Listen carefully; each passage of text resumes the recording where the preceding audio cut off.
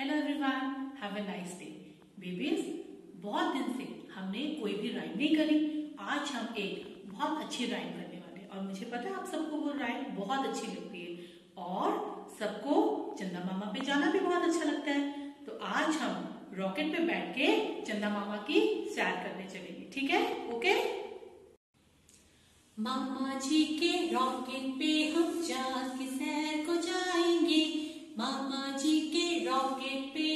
चाँद की सैर को जाएँगे, वहाँ के बच्चों से मिलजुल कर दूध मलाई खाएँगे। वहाँ के बच्चों से मिलजुल कर दूध मलाई खाएँगे।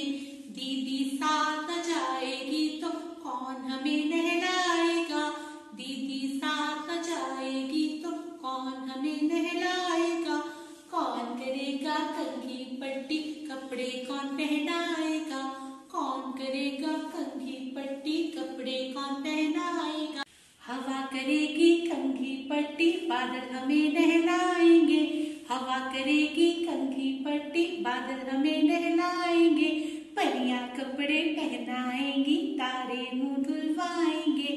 परियाँ कपड़े पहनाएँगी, तारे मुँह धुलवाएँगे। रात को नींद आएगी तो लोरी कौन सुनाएगा? रात